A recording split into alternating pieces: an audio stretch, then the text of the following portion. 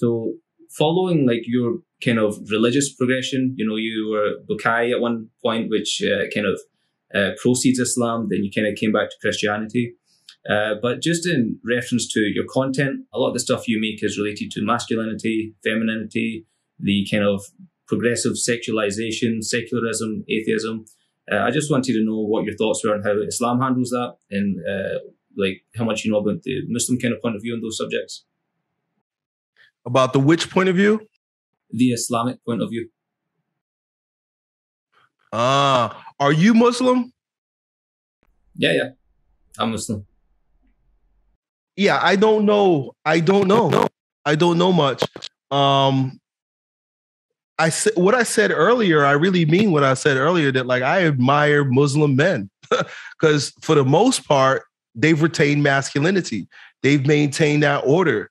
But us Americans, we're over there with them. Why are we with them? Let them live the way they want to live. The women are, I don't hear Muslim women complaining about, I guess, Sharia law or whatever it is that asks them to cover their heads.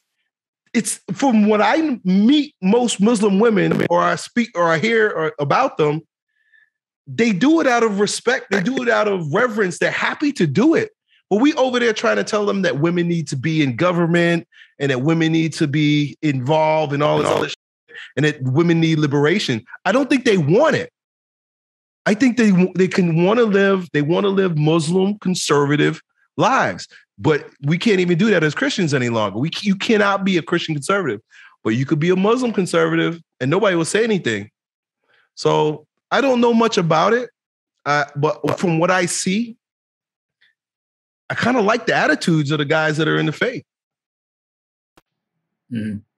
So, um, with you being part of the Baha'i, from what I understand of the Baha'is, they accept uh, the Prophet Muhammad. Mean, peace and blessings be upon him, but I think they accept other people as well. So, uh, but you reverted uh, before that, for when you went to Christianity.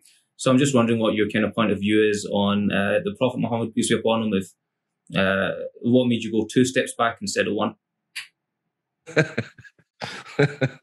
These are good questions. My. I don't, I don't, I don't have an opinion. I have a book I read about him, and, and I learned a little bit about him in history. Um, but I'm, I'm not that familiar. I don't, I can't tell you that much. Um, I, as a Baha'i, that's when I learned most of what I knew about the Muslim, Muslim faith. faith. Uh, but I'm not. I'm really not educated. I'm really. I don't have an opinion. Okay, fair enough.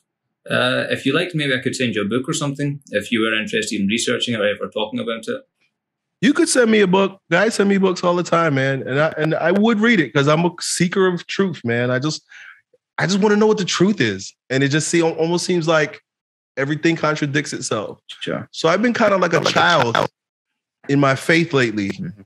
I've been kind of like a child in my in my faith in that like I just accept the faith that was given to me as a child. That's how that's how I reverted. When you say revert, right? You know, I went backwards. I really did. I reverted because I was like, I got to stop. I just wanted to stop. I was like, I just need to rest. And it's a place where I mm-hmm. chose to rest. And I like the faith. I love the Catholic faith. I don't like what it's become. I don't like where it's going. I don't like the leadership and there's a lot of problems, but I'm sure there's problems everywhere. Yeah, man. Um, so what what do you know about the uh, about the life of the Prophet Muhammad? Like, uh, do you know about the kind of takeover of Mecca and the idolatry and the uh, that side and some of the miracles that surrounded his kind of background in his life? And miracles that surrounded his kind of background in his life. I know he came in I just remember the story about him coming in and had all the idols and he smashed up all the idols. And there was one left. He said, That's Allah. And so he united all of the tribes. I guess these were tribes in uh I don't know where, Saudi, but they were they're all tribes. Yeah, tribes. yeah, that's right. Yeah, they're all warring tribes. They were all segregated, fighting with one another. And he came in and united, united them all under one, one banner and that's, quite, a, quite feat. a feat. Yeah, if if you want, I can tell you a little bit about it. I can give you a brief run through, or if you prefer, I can send you a book and we can talk about it at a later date. Yeah, just send me a book. I mean, I'm open. You could you tell me whatever you want to tell me right now, but you can send me the book too. Yeah, sure. Yeah, sure. Uh, I guess I'll do both. So, um, just to kind of put it into perspective, like what he achieved, and you know, just even from a historical uh, perspective, I recommend anyone researches this story because if you think about it, um, uh, 40, so the difference between our beloved Prophet Muhammad, peace be upon him, and the Prophet Jesus Christ, peace and blessings be upon him also, is that Jesus was born a prophet, whereas we believe the prophethood didn't start for uh, Muhammad until he was 40 years old. So um, up to 40 years old, he like he was um, orphaned, he was uneducated, he was illiterate, but he managed to build a reputation around Mecca, and his reputation was Al Amin and Al Sadiq, uh, which is the truth, the trustworthy and the truthful. That was his reputation. So um, the one kind of like his life is incredibly well documented. Just to show you, like we have uh, these books of hadith, and in these books of hadith, like we have what he said on like every different topic, like hundreds of different topics. We have the narrators, we have uh, who said it, who they were when they were born, who they were married to, who their children were. So all these aspects of his life, of uh, we can see the chain of narration, so how well this information is actually being preserved. This isn't the Quran. This is just the um, surrounding text about you know his life.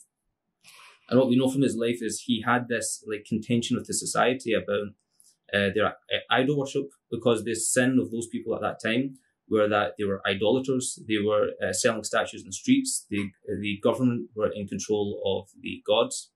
Uh, the government were telling you buy this god, buy that god. Uh, their entire economy was uh, uh, built on tourism because people would come to Mecca to like see these gods and buy these gods. Had people travel from all over to do it.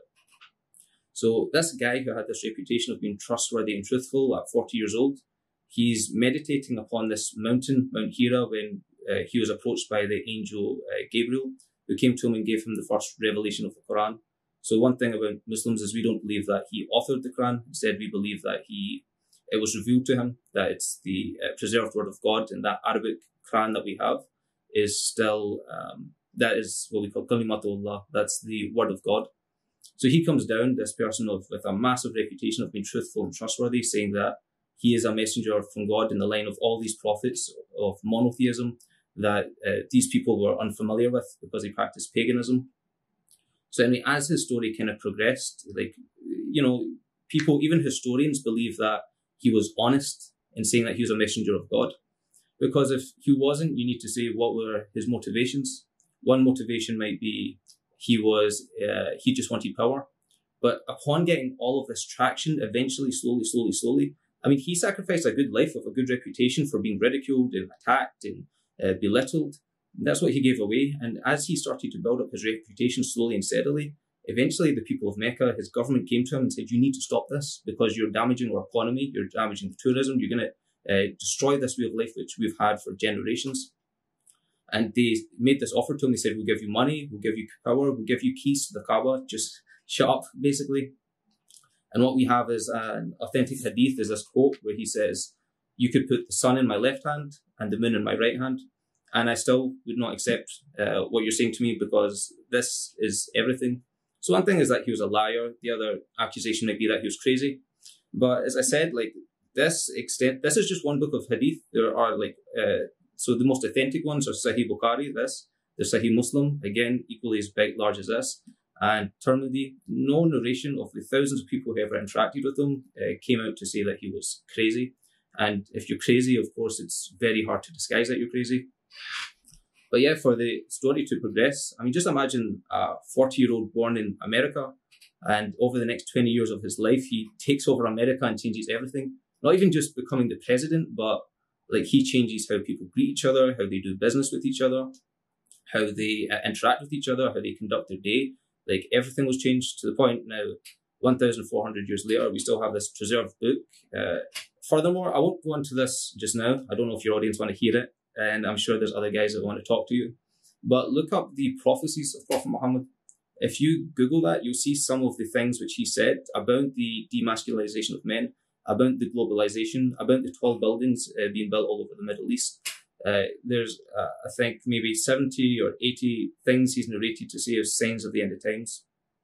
But the other thing I might just leave you with are like we believe the ultimate miracle is the Quran, this perfect book, which is the source of all grammar, uh, Arabic grammar and literature, which you know came from this guy in the desert who was uneducated and is now the fourth most spoken language in the world. So um, yeah, we say that's his main miracle. But another just like fantastic example of a miracle is: Have you ever heard of the splitting of the moon? No. Okay, so the uh, splitting of the moon. I'll just I'll leave you with this, right? And uh, I'll send you a book. I'll send you a copy of the Quran that you can have a look at. But when he was amongst the people of Mecca, they said, if you're a prophet, prove it. Do a miracle. He says, what miracle do you want to see? And they said, split the moon. So he, oh well, there he goes.